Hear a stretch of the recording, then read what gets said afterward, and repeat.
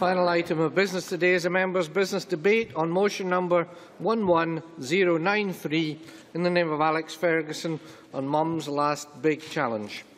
This debate will be concluded without any questions being put, and I would invite those members who are leaving the chamber to do so quickly and quietly, and also to invite members who are staying, if they wish to speak, to press the request to speak buttons now. Now call on Alex Fergusson to open the debate. Mr Fergusson, seven minutes, please.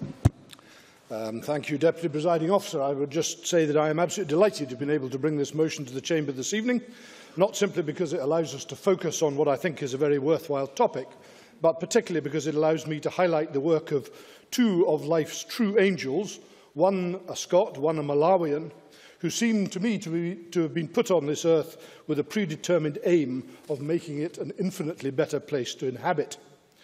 The first will, I think, be acutely embarrassed because, if my eyesight is right, I think I'm pleased to say that she's been able to join us in the gallery this evening. Linda McDonald, along with some of her key volunteers who have made her charitable trust better known to all of us as mums, she's made it work so effectively since it was founded in 2005. Linda started the charity after seeing photographs of Bottom Hospital in Lilongwe, the capital of Malawi. Photographs that clearly showed the filthy, unhygienic conditions into which pregnant mothers were supposed to be able to deliver their babies. I think it's worth noting that in the UK in 2013, one in every 4,600 women could be expected to die in pregnancy or childbirth. In Malawi in that same year, it was one in every 36. One in every 36 women could expect to die simply because they had become pregnant. So no wonder that Linda, who is a practicing midwife, midwife, was so shocked by the photographs she was shown. Every single one of us would have been, but I suspect very few of us would have thought, well, that's enough. I'm going to go and do something about this and try to make a difference. And so Mums was born. A recipe book was produced, the first in a series. Jack McConnell, our former First Minister, brought Mums to the attention of this Parliament and mums became instrumental in raising the £100,000 that saw a new purpose-built maternity unit being built at Bwaila Hospital. Once that unit began to operate, the book that previously recorded the daily, daily deaths of babies and the weekly deaths of mothers was barely required any longer.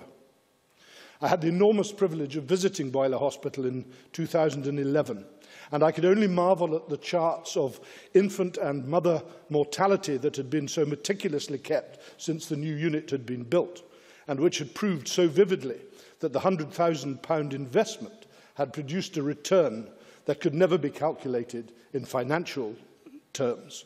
It had produced a safe environment in which you could give birth. But mums couldn't and didn't stop there. It had well and truly taken root and over the years it has raised huge amounts of money that has been thoughtfully and carefully targeted at improving the lives of mothers, babies and families in Malawi. Feeding stations for under five-year-olds have been set up, nursery teachers funded, drinking water sourced, basic toilet facilities researched. All this and much more has been achieved by mums. And somewhere along the way, a very fortuitous contact was made with a lady called Charity Salima, the second angel that I referred to earlier. I also visited Charity at her Achikondi clinic in 2011. I did so again in 2013. I'm not actually sure I could ever visit Malawi again without visiting that clinic. The name literally means a caring home because both the clinic and the story that led up to its establishment are truly inspirational. Charity Salima was a research nurse working for the Malawi government. But so appalled did she become at the type of death rates I referred to earlier, and through her increased knowledge and experience of the conditions that pregnant women in Lilongwe had to survive, that she, just like Linda really, just came to the conclusion that enough was enough. So in 2008, using her own meagre resources and with the backing of the National Organisation of Nurses, she rented a property in District 23 and established her own maternity clinic though I suspect you and I would probably not recognise it as such if we happened upon it. But that clinic and Charity Salima are now well on their way to delivering their 6,000th baby without having to record a single death of either mother or child in the six-year history of that clinic. And charity, being charity, doesn't stop at that. She also provides antenatal and postnatal care to mothers and babies. She runs an under-fives clinic and feeding station. She provides HIV testing and runs a family planning advice service, all done and achieved without any government funding whatsoever. I can say with total sincerity that she, Charity Salima, is one of the most remarkable human beings that I've ever come across. And since 2009, Mums has supported charity through a monthly donation and in addition has funded a badly needed ambulance to increase the catchment area from which pregnant mothers can access this extraordinary place. But now a new challenge has emerged, and it's the one I want to highlight through this debate this evening. The owner of the Achikondi Clinic has increased the rent. Well, on its own, that might have been bearable, but in a particularly unhelpful move, he has begun to build a house just seven feet from the front wall of the clinic itself, compromising obviously the access, but much more importantly, the privacy that the clinic currently enjoys. The clinic simply could not continue to operate under those circumstances. So in typical charity style, she has bought a plot of land and with the assistance from the Norwegian Nurses Association, begun to build a new purpose-built 17-bed clinic. But she's run out of money, which is where the title of my motion, Mum's Last Big Challenge, comes in. Mums is looking to amalgamate with another charity for the most understandable of reasons. Its success has been such that it has become a more than full-time task to administer, and the Trust has decided that amalgamation would best secure its aims as we go forward. But it set itself one final challenge of raising the £15,000 that charity needs, and in doing so by Christmas. It's produced a, a donate to charity pack, of which I have one and I can get more, giving all the advice needed to individuals and organisations to raise just £100 each towards the total.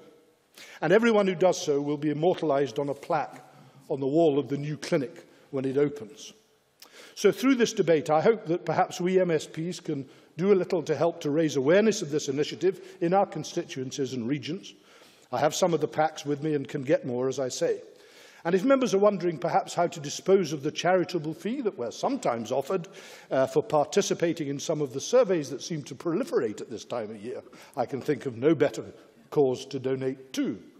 But that aside, presiding officer, the motion I've tabled before us gives us an opportunity as a Parliament to say thank you to Linda McDonald and Mums for the truly remarkable work they've undertaken over the years. Work that is not done for, for glory, for gain or for recognition, but for the simple satisfaction of doing what is right, and in doing so, to improve the lives of so many others who are so much less fortunate than we are, beyond all recognition. I feel very privileged to move the motion in my name. Thank you, Presiding Officer. I now call on Patricia Ferguson to be followed by Maureen Watt. Thank you, Presiding Officer. It's a pleasure always to be able to speak in a debate about Malawi, but this particular debate is one that I think uh, says everything about the relationship between Scotland and Malawi itself. As many colleagues know, and as Alec Fergusson uh, so eloquently put forward in his motion this evening, for which he deserves congratulations for securing uh, both the motion and the debate. Um, the situation in Malawi with regard to child and mater maternal mortality has been and still is challenging. However, the fact that when I first visited Malawi in 2006, one baby was dying every day and one mother every week was a shocking figure to hear about and a shocking situation to witness.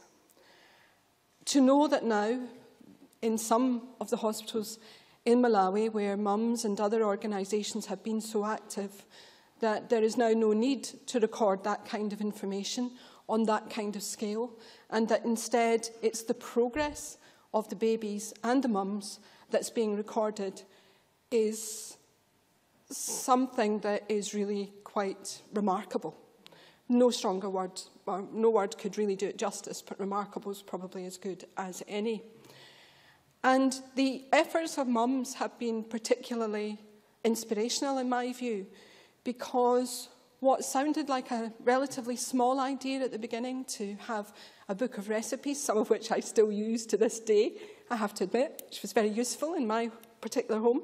Um, but the fact that a book of recipes would be used in this way to raise money for such an important aspect of Malawian life is really quite an interesting concept in itself and demonstrates that actually it is those personal contacts, it's those personal relationships between Scotland and Malawi that are helping to make such a difference.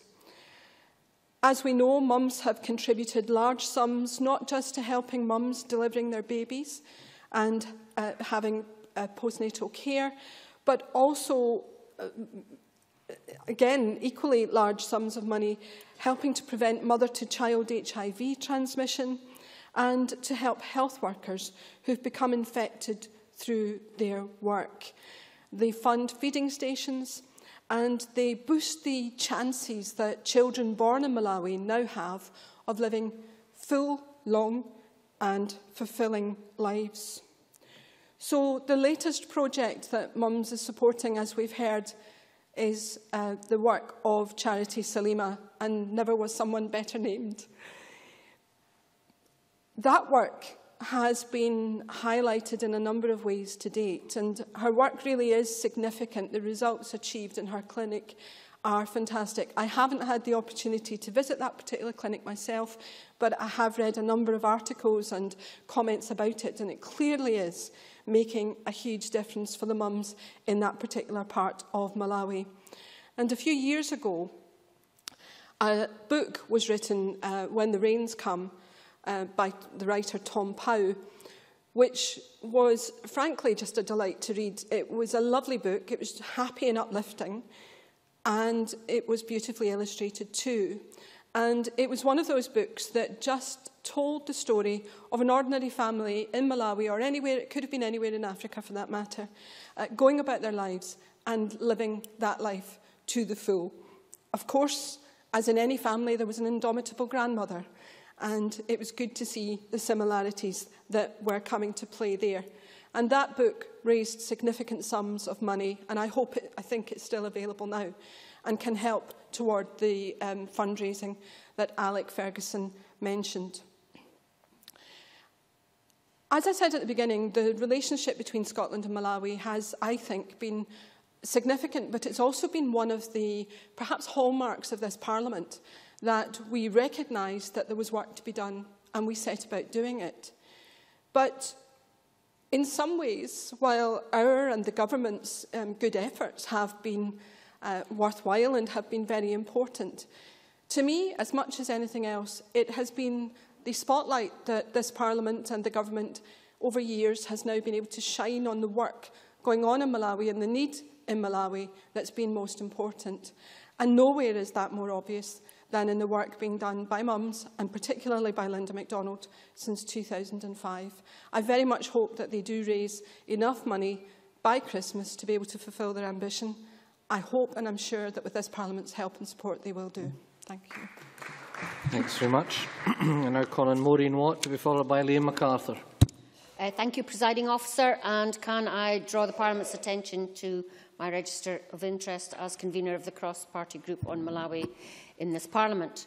Can I too congratulate Alex Ferguson on securing this debate this evening to highlight the work of the charity Malawi Underprivileged Mothers, or MUMS as we've all come to know it.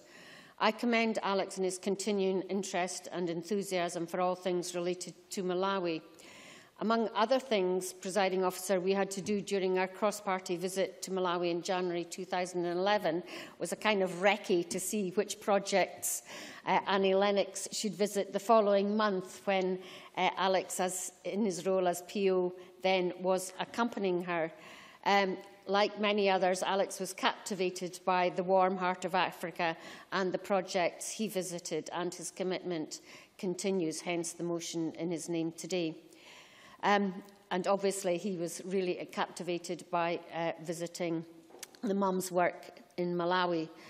Um, This latest effort of Mums and uh, Linda, the founder, to build a 17-bed capacity purpose-built clinic is truly remarkable and commendable, and I know how difficult it is to raise uh, money for Malawi. But Mums fundraising uh, capacity is uh, legendary in this place, as other people's, people have mentioned. Uh, Mary Scanlon had a debate in 2009 um, when uh, Jack McConnell spoke, and he was the one who was distributing the cookbook uh, at that time in this place and badgered us all uh, to buy it and contribute to it. And prior to that, even in 2008, Mike Pringle said in a debate, I have found that one cannot say no to Linda.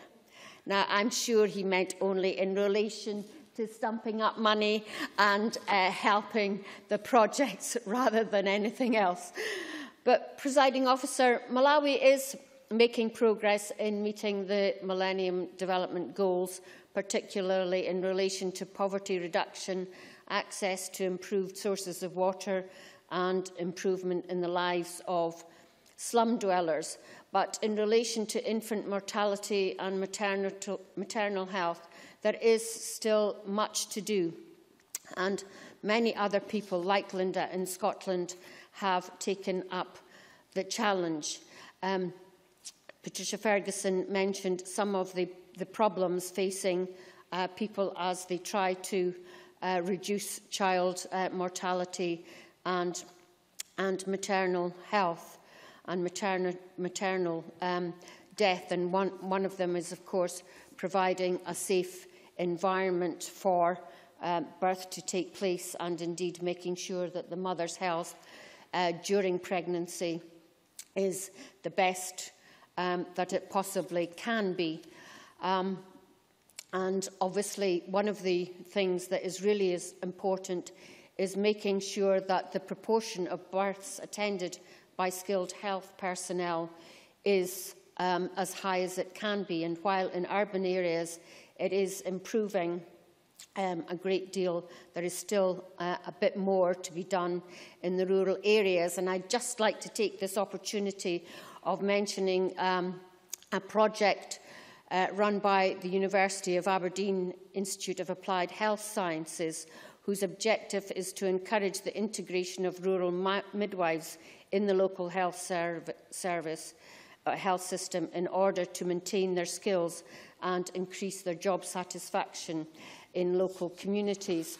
Um, and I know there is still um, much work to be done in, the, in that area, but we must commend and support uh, the many people like Linda and mums who are continuing to work in this area in Malawi. It's much appreciated. I know there is um, some disconnect between the work of the charities uh, and Scotland-Malawi partnership are trying to make sure that they are in tune with uh, the government of Malawi, and it's perhaps something that you could take up, Minister. I look forward to hearing your contribution. Thank you, Presiding Officer. Thank you. I now call on Liam McArthur, after which we'll move to the closing speech from the Minister. Uh, thank you very much, Deputy Presiding Officer. Can I join with my colleagues in congratulating uh, Alex Ferguson on uh, the motion and securing the debate, as others have testified um, Alex Ferguson's uh, commitment to uh, and, and passionate support for this Parliament uh, and this country's links with Malawi uh, is a matter of record. To the point, in fact, where he's been prepared to be Annie Lennox's bag carrier, uh, which is, I think, above and beyond the call uh, of duty for most presiding officers.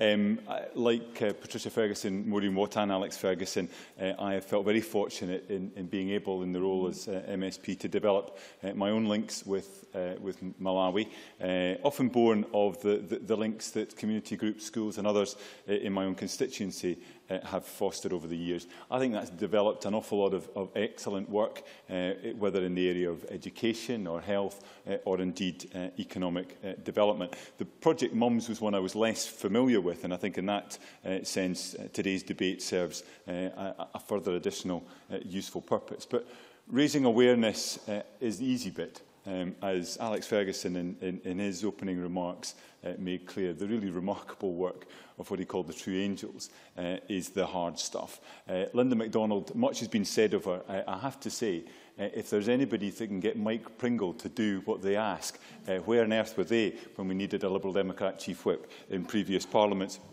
Uh, Char uh, Charity Salima, uh, likewise. Um, the, uh, the, the, the sort of work that humbles uh, all of us, and I think um, Alex Fergusson was right to pay eloquent testimony uh, to that. I was on the, the same visit as Maureen Watt um, to Malawi back in 2011, and I think one of the most striking um, aspects of that uh, trip was the visit to a settlement in the outskirts of Lilongwe to visit um, a mother who uh, had been uh, diagnosed as, as HIV positive um, uh, during the course of a previous visit by a Scottish Parliament delegation.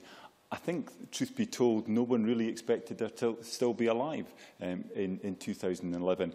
Uh, it was remarkable to see uh, the recovery that she'd made. It was evidence that the antiretroviral programme Um, but the fertiliser programme that was ensuring that markets at least had uh, food that could support the antiretroviral uh, programme was available, and the education um, investment that had gone in. All of those were coming together um, to, to, to start to move things in the, in the right direction. I think it's, it's too easy to, to succumb to a council of despair.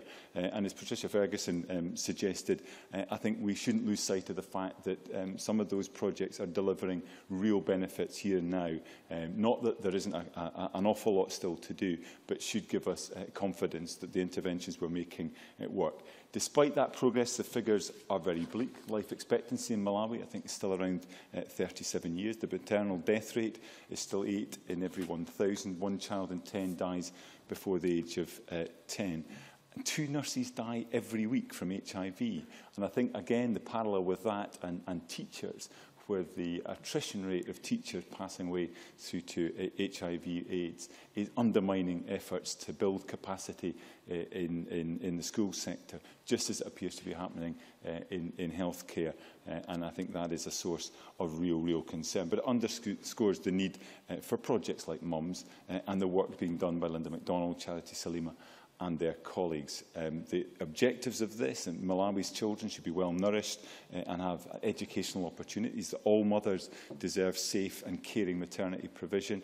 Uh, supporting nurses with AIDS, at risk of um, contracting AIDS, or, or simply concerned about uh, the risk. Sup working closely with local communities and giving them the confidence and the capacity uh, to help themselves. All of those objectives are ones that we should be supporting uh, raising awareness and encouraging others to support. So, Deputy Presiding Officer, last year the MacArthur family agreed to forgo a few presents at Christmas in order to adopt a snow leopard. Uh, this year I can think of no better cause than supporting Linda McDonald and mums towards their target of £15,000 to complete their clinic before the end of the year. Immortalising on plaques seems to be very much in the zeitgeist uh, of this week.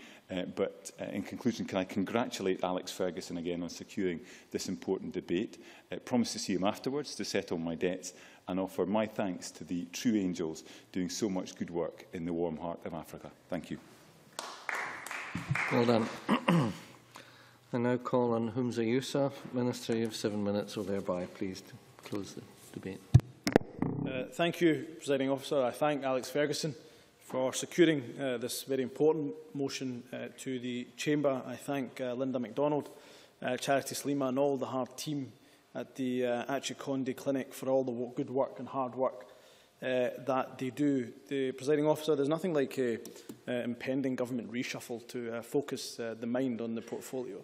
And uh, I definitely uh, I can say without any fear or favour uh, that this portfolio is by far uh, the best in the government. It's maybe the best kept secret, actually, uh, in government. The reason for that is that I get to see, I get to talk about, I get to engage with those who are making some of the best change uh, in the world. And mums is an example of giving a gift that is that you cannot put a price on. A gift of life, a gift of uh, a child, uh, a healthy child, uh, and a gift of life to, to a mother is something that you can't quantify.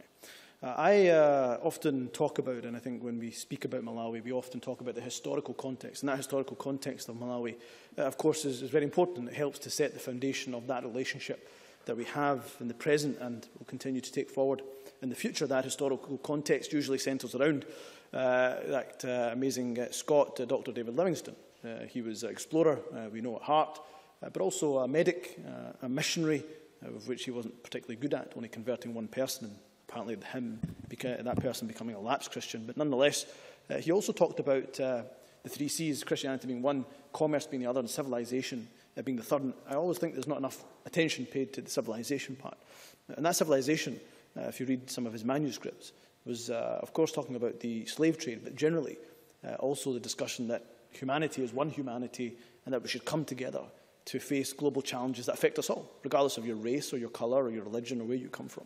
And that is ultimately what Dr. David Livingstone meant uh, by civilization. And I'm delighted that his legacy that he taught us uh, is being carried down this day by people like Linda, by, of course, uh, her colleagues in uh, Malawi, uh, but also uh, our children as well. I still keep very much in touch and close, uh, close eye on the good work of people like Martha Payne, a young girl uh, who, of course, is helping with Mary's Meals and feeding young school children uh, in Malawi. But the point of the historical context of that relationship, presiding officer, is that it helps to, uh, helps to inform our present relationship. Uh, I just came back from uh, Geneva. Uh, I was in Geneva last week for a couple of days talking about our international development work. They were very uh, interested uh, at the United Nations about Scotland, what Scotland was doing. And uh, all of them, all of the uh, officials that I spoke to said that it's not about the size of your contribution, of course as important as that can be, but it's about the impact and the leadership uh, which Scotland is showing. And we have this relatively modest international development programme, uh, £9 million pounds a year, of which £3 million is, is, is ring-fenced uh, from Malawi. But from that, uh, that small pot, we support over 50 projects in Malawi. Uh, unique uh, because, not because of the top-down relationship, as important as that government-to-government -government relationship is, but unique because of that bottom-up relationship where the entire civic society of Scotland is involved from the very north uh, of our country, from the, from the constituency of uh, Uh, I was about to call him General MacArthur from uh, earlier contributions, but um, Mr MacArthur, Liam McArthur's uh, constituency in Orkney, uh, of which I've met uh, some of those involved in the relationship, right down uh, to the borders and, and through to Selkirk, where I've met uh, uh, those involved in the relationship with Malawi too. But not only does it cover the country in terms of its geography, but in terms of its demography too. I've met uh, people, teachers, students, nurses, uh, professionals, business people, uh, all involved in this relationship. In fact, uh, a study from the Scottish Malawi Partnership showed that 84,000 Scots are involved in the relationship with Malawi. A country of 5 million people, 84,000 of them are involved in helping to improve the lives of their fellow uh, man, uh, woman and child in Malawi. 50% of people know somebody who's involved in the relationship in Malawi, according to that same survey. And 97% of people think uh, favourably about the relationship between Scotland and Malawi. Here, in this time of financial restraint, uh, economic austerity, food banks, difficult times for people, yet they're still in favour of committing our resources, uh, but also our energy and our efforts to improve the lives of those who are much worse off than us. Uh, like uh, those who have spoken uh, already, presiding officer, and very uh, eloquent uh, contributions, uh, I too have been to Malawi. And it is quite difficult to understand the realities of abject poverty until you witness it yourself, until you speak to a mother who's had to bury her child because of malnutrition, because uh, uh, when you speak to a child who's been orphaned uh, because his parents have such a low life expectancy, as Liam McArthur was saying, uh, in a world of plenty, we have to watch uh, we see uh, and we hear uh, the figures that were quoted by Patricia Ferguson uh, about those mothers uh, that still die uh, simply because they've become pregnant in this uh, 21st century. It is actually a, a great disgrace and a shame uh, on us all. That in the 21st century, uh, women will have to walk up to 30 kilometres while in labour, then having to suffer through the pain of a fistula, a delayed labour, which not only causes their child to be stillborn, but causes them internal damage, tissue damage, which affects the rectum, the bladder, uh, leaving them incontinent. No way they can have another child if that fistula is not repaired. Then they, some of them unfortunately divorced because they uh, won't be able to produce children. Outcast from entire communities. Imagine this in the 21st century. So maternal health is incredibly important to the Scottish Government, the issue of maternal health. We fund eight projects in Malawi, uh, including one in uh, Hospital, a long way. Uh, and uh, I visited the Fistula Care Centre uh, in Bwaila Hospital, uh, where Linda, uh, Charity uh, and the team uh, also uh, work. And working with the Anglo uh, Freedom from Fistula Foundation, I got to see how uh, women who suffered from fistulas and uh, various complications of uh, maternal, uh, of, of pregnancy, uh, how they get their lives back by being given the opportunity of having a solar-powered uh, battery uh, where they could uh, uh, charge other people from the village and from their town to come to use it, uh, have an income for themselves, and therefore go from outcast uh, to being business leaders in the communities. Uh, and I note and commend the range of good work that's done by mums that others have mentioned, from the ante and the postnatal uh, care to the HIV testing to the planning, uh, family planning advice, which is simple but also incredibly important. I hope that individuals and organisations will dig deep to support them. Uh, Linda uh, McDonald's uh, personal drive uh, we've heard much about. Uh, I would be looking forward, hopefully, if I can catch her after this debate to say a quick hello. But from everything that I hear, she sounds like a phenomenal fundraiser. She should be quite careful because a political party might snap her up uh, if she continues such a record. And also of Charity Salima, uh, she is quite rightly described as a miracle, a miracle nurse. Thousands of babies and not one death since 2008. I agree entirely with Alex Fergusson's description of them uh, as angels. And I simply say that every single member of this Parliament should certainly see uh, what they can do to help mums, and I certainly uh, will be happy uh, to do that as well. But these two uh, women and their team, and their team, uh, through the work that they do with mums, uh, certainly help re-establish my faith in humanity in often a, a very difficult world. And I end on uh, these words the greatness of a nation is not measured, presiding officer, by its economic wealth or its military might, uh, but by how it treats the most vulnerable uh, in its society. And in this globalised world that we live in today, then we can demonstrate, I think, our greatness through the work that is done uh, by mums and, of course, many other charities and good people that help to improve the lives of the least fortunate and the most vulnerable on our, on our uh, planet. Thank you very much. Thank you very much. And I thank you all. And I now close this meeting of Parliament.